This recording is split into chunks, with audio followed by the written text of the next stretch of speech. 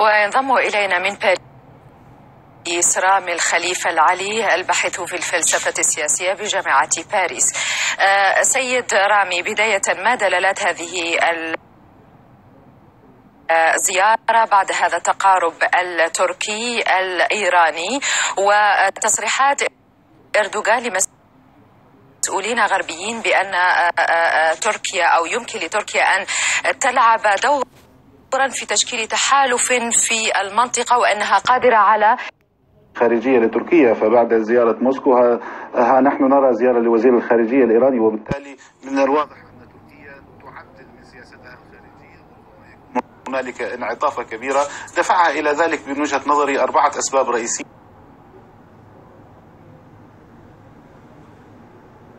السبب الأول هو التأثير الكبير لمجريات الأحداث وخصوصا في الأزمة السورية على معطيات وأسس الأمن القومي التركي وخصوصا وجود ميليشيات كردية ذات سطوة ونفوذ في شمال سوريا. هذه هي النقطة الأولى. النقطة الثانية خيبة أمل الأتراك من الدول الغربية ومن الولايات المتحدة الأمريكية على وجه التحديد خصوصا بعد الموقف الذي اتخذته هذه الدول من المحاولة الانقلابية الفاشلة التي جرت في الشهر الماضي. طيب. النقطة الثالثة أيضا باعتقادي أن هنالك سياسة جديدة في إطار العلاقات الخارجية الخارجية. النقطة الرابعة وهي ربما الانفتاح على إسرائيل وبالتالي هنالك نهج جديد مختلف عما السلف أما فيما يتعلق التأثيرات فباعتقادي أن التأثير الأكبر سوف يصب في الأزمة السورية. السؤال إذن الأساسي والجوهري إذا في هذه النقطة سيد رامي نحن أمام تحالف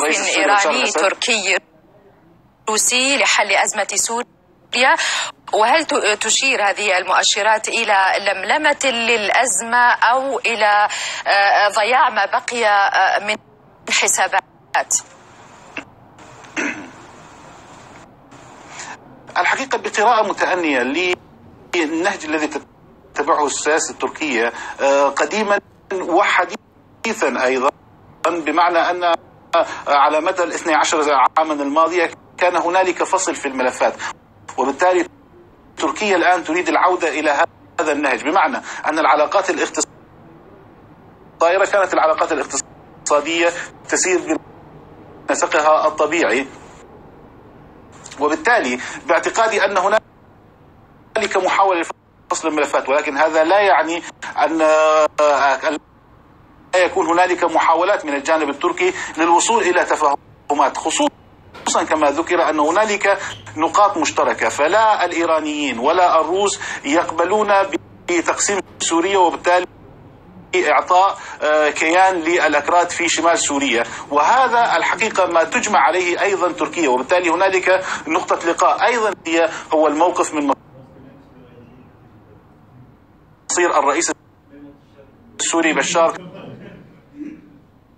الأسد ومن شكل الحكم الجديد وباعتقادي هذا ما يراد منه التفاهم والنقاش ما بين تركيا. يتعلق ب